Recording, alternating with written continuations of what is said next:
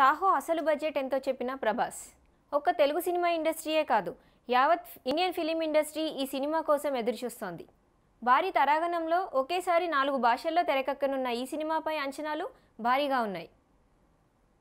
ఇటీవలే సాహో ట్రైలర్ విడుదల చేసిన చిత్ర యూనిట్ అధికారికంగా సినిమా ప్రమోషన్ని కూడా ప్రారంభించింది. ఇందులో భాగంగా ప్రభాస్తో పాటు శ్రద్ధా కపూర్ కూడా ఇంటర్వ్యూలో తెగ బిజీ అయ్యారు.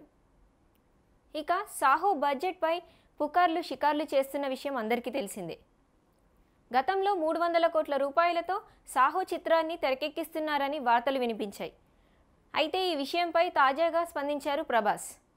అనుపమ చోప్రాకు ఇచ్చిన ఇంటర్వ్యూలో ప్రభాస్ సాహో బడ్జెట్పై మాట్లాడుతూ సాహో చిత్రానికి మూడు వందల యాభై కోట్లకు పైగానే బడ్జెట్ అయిందని తెలిపారు.